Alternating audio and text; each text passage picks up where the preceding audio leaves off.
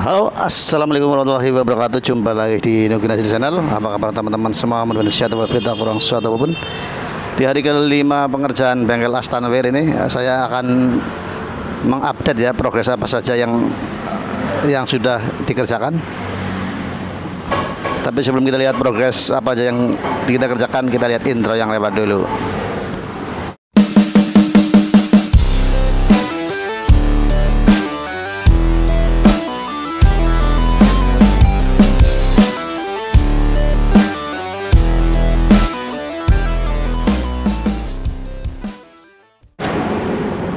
Pengerjaan hari yang kelima ini kita ada progres. Yang terakhir ya kalau ini yang eh, tata kantoran atau duduk kantoran sudah kita review terus terus ini buat ketika kita habis ngelas bisa dimasukin sini ya buat di buat disiram dengan air. Selanjutnya ada progres di samping WC ini WC ya. Di samping WC kita di belakang WC ya tempatnya. Kita ada ada kemajuan ya, atau progres eh, penggalian penggalian tempat bending untuk roll ya. Ini dalamnya semeter terus eh, ukuran diamet- diameternya 70 cm terus ini juga buat pres-presan terus buat poles dan buat ragum dan yang terakhir ini progresnya pembuatan kamar ya. Dan yang sebelah sini sudah dibelur. Nyampe mentok. Nah, ini kamar ini. Ini kamar minimalis ukuran 2 meter kali 2 meter.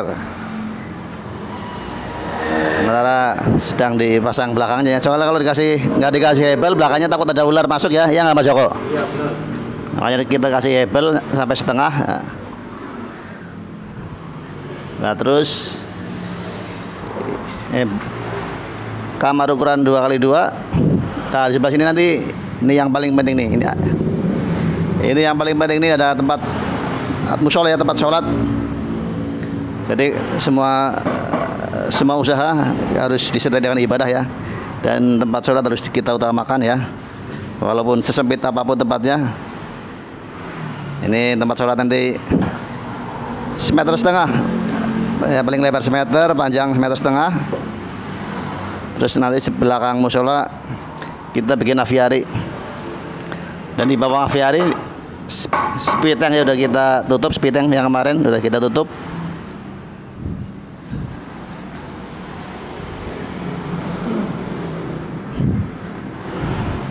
Ya paling sementara hanya itu yang dapat saya sampaikan Ah, oh ya untuk ada tambahan biaya untuk bikin pintu tralis ya kemarin saya udah bikin pintu tralis buat depan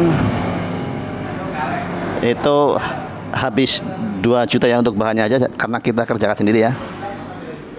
Ini nih kita kerjakan sendiri tralisnya, pintu tralisnya di depan itu.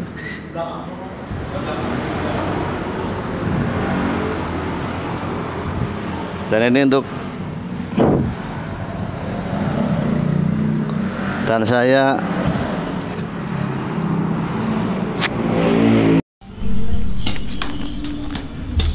penggalian selokan. Biar yang punya rumah kontrakan gak kebanjiran.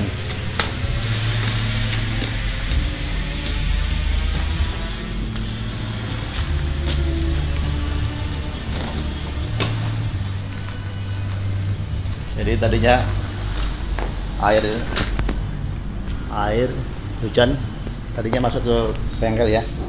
Karena buat resapan nah sekarang udah di bengkel jadi nggak ada resapan ya makanya air nanti larinya ke sini. Ke sini. Dan biar di sini nggak banjir kita bikin selokan. Ngambil sono. Jadi sebelum bengkel dibangun tadinya resapannya di bengkel resapan air di bengkel Anak bengkel sekarang udah dibangun dan nggak ada air resapan air hujan resap buat resap jadi kita bikinin uh, selokan. Karena kalau nggak dibikin selokan pada pada ke sini nih ada kontrakannya Paulik. Ada kontrakannya Paulik kasihan. Makanya kita bikin selokan. Bersama Mas Yanto? Udah sarapan Mas Yanto? Sudah Pak. Sarapan pakai apa tadi? Pas sarapan pakai apa? gorengan biasa. Saya juga sama tadi. Saya tadi tadi nasi uduk.